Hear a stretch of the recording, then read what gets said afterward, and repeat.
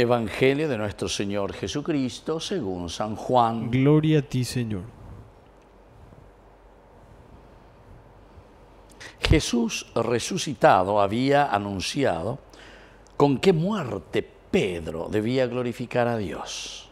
Pedro, volviéndose, vio que lo seguía el discípulo al que Jesús amaba, el mismo que durante la cena se había reclinado sobre Jesús y le había preguntado, Señor, ¿quién es el que te va a entregar? Cuando Pedro lo vio, preguntó a Jesús, Señor, ¿y qué será de éste? Jesús le respondió, si yo quiero que él quede hasta mi venida, ¿qué te importa? Tú sígueme. Entonces se divulgó entre los hermanos el rumor de que aquel discípulo no moriría. Pero Jesús no había dicho a Pedro, Él no morirá, sino, si yo quiero que Él quede hasta mi venida, ¿qué te importa? Este mismo discípulo es el que da testimonio de estas cosas y el que las ha escrito, y sabemos que su testimonio es verdadero. Jesús hizo también muchas otras cosas si las relatara detalladamente, pienso que no bastaría todo el mundo para contener los libros que se escribirían. Palabra del Señor. Gloria a ti, Señor Jesús. Queridos hermanos, esta forma ¿verdad? de escribir un género literario maravilloso que nos está diciendo lo que significa la presencia de un Dios que nos quiere tanto, que nos ama. Cómo termina es interesante, ¿verdad? ¿eh? Si se las relatara detalladamente, es decir, todo, todo lo que hizo Jesús, dice detalladamente, pienso que no bastaría todo el mundo para contener los libros que se escribirían. Bueno, una forma muy linda para decir que el Evangelio es palabra que anuncia y entra y toma todo el mundo, ¿verdad? Se expande por todo el mundo y es la verdad de Dios que tiene que llegar a todo el universo a todos nosotros. Sus discípulos, queridos amigos, que aparecen aquí, Pedro y Juan, son dos grandes discípulos dentro de la tradición cristiana. Se nota que la comunidad tenía alguna tradición con respecto tanto a Pedro y a Juan. Son dos comunidades que se van desarrollando y como nosotros sabemos cómo se desarrollan las comunidades y de acuerdo al ánimo y al entusiasmo del que está al frente una comunidad. Nosotros eso no nos tenemos que asustar. Y por ejemplo, y un boe, la iba a un boe, y capilla un boe, ¿cuántoía lleva? Pero para ahí medio güey tu ya ya medio y carne ove imagina, entonces y bueno, se mueve y se va moldando. Después también depende de acuerdo a las características de cada uno, ¿verdad? Hoy le bueno, hoy le creen, hoy le recibí nada, hoy le yargela, hoy le iroa, hoy nos enduce etc. Estamos de todo, ¿verdad? Bueno, pero sin embargo es la fuerza de Dios la que siempre está trabajando. Es Dios el que nos ayuda a entender la misión. Y por eso ante esta pregunta, ¿verdad? Esto nos está diciendo sobre la comunidad, cómo se va desarrollando. Comienza preguntando que dice que Pedro debía glorificar al Señor con su muerte en la cruz, en este caso, otros que te llevarán. Tú no querrás, pero sin embargo otros te llevarán.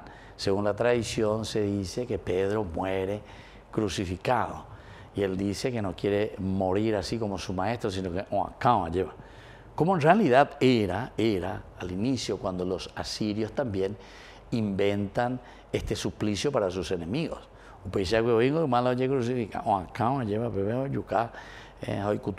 Y hay muchas otras cositas que nosotros tenemos que mirar un poco sobre este suplicio que se recibía. Y ahora, antes de todo esto, Pedro parece que tiene, o la comunidad que está preguntando, sobre una comunidad que se había desarrollado y que es muy fuerte, y que entra también dentro de lo que en ese tiempo era el gnosticismo. Pedro volviéndose vio que lo seguía el discípulo, el discípulo al que Jesús amaba, el mismo que durante la cena se había reclinado sobre Jesús y le había preguntado, ¿quién es el que te va a entregar? Una comunidad que recuerda a este discípulo, a Juan, muy querido, muy amado, es el discípulo que ausculta, ¿verdad? Esa es la teología y lo esencial para que nosotros podamos entender también la enseñanza.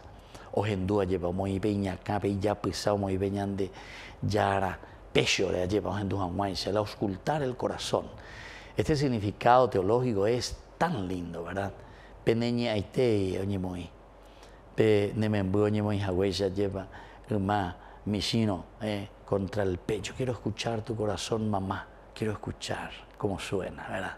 Bueno, pero en el sentido mucho más profundo, ¿verdad? Significa lo que Dios siente y lo que Dios quiere por el hombre, lo que Dios ama de la humanidad, escuchar. Y esta es la figura de Juan, Juan el evangelista, Juan el discípulo. Cuando Pedro lo vio, preguntó a Jesús, Señor, ¿y qué será de este? ¿Qué será de este? Parece que son comunidades entonces en ese momento que se preguntan, y bueno, ¿cómo estamos caminando? Yo estoy al frente, Pedro, el que lleva adelante la comunidad. Hecho de los Apóstoles nos muestra que Pedro, Santiago y Juan se encuentran juntos, ¿verdad? Pero se nota al mismo tiempo que Pedro es el que está al frente, Pedro el que se levanta, Pedro es el que da el discurso ante los problemas. Pablo cuando va a ir habla con Pedro para ver cómo vamos a solucionar ciertos problemas. Pero allí está también la comunidad joanea. En fin, todos estos elementos son muy importantes porque dentro de la tradición, la tradición no se inventa.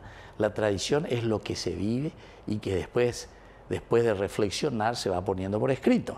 Y entonces Pedro como pregunta como que tiene ese interés. ¿Y esta comunidad? ¿Cómo acuera? Y Jesús le responde, ¿Y a ti qué? ¿Verdad? Después que le pregunta, si yo quiero que Él quede hasta mi venida, ¿qué te importa? Tú sígueme. Esto es lo importante, queridos amigos. En una comunidad donde tanto hemos hablado que todos seamos uno, en la diversidad, porque cada uno ya cocina la de forma de vivir, ya de forma de llevar adelante el proyecto de salvación. Esa es la gran riqueza, ¿verdad? De una comunidad. La gran riqueza de la comunidad es que cada uno tenemos elementos esenciales. Entonces, no tenemos que ser malos, no tenemos que ser envidiosos, no tenemos que, primero nosotros los mismos sacerdotes, los mismos sacerdotes, saber que la misión es de Dios. La misión es aquella que ha puesto en el corazón de cada uno de nosotros, lo sentimos. ¿Y a ti qué? Déjale, toda vez que vaya en el camino de aquello que yo he puesto y sembrado en su corazón. En nuestros movimientos eclesiales la misma cosa. No podemos estar entonces allí criticándonos por esto, por aquello. Sí, tendrán algunas cositas cada uno dentro, porque todos somos humanos y estamos procurando dentro de un carisma. Cada uno, oye, ¿cuál es el de efecto? Bueno, pero miremos lo más lindo y eso es lo que el Señor nos está queriendo enseñar en el día de hoy. ¿Eh? ¿Y a vos qué? Y si yo quiero que Él verdaderamente continúe y que haga de esta manera, esta es mi voluntad y esto es lo que yo quisiera. Así que, queridos hermanos, hoy también, cuando ya estamos concluyendo, porque hoy concluimos en realidad todo este tiempo pascual, cuando no yo imagina la venida del Espíritu Santo, la fuerza que nos va a impulsar para anunciar, la fuerza que nos va a impulsar sobre todo y nos va a llenar del ardor para poder dar a conocer que Jesús está vivo y que Jesús caminará en el tiempo ordinario con nosotros. Que así sea. Que así sea.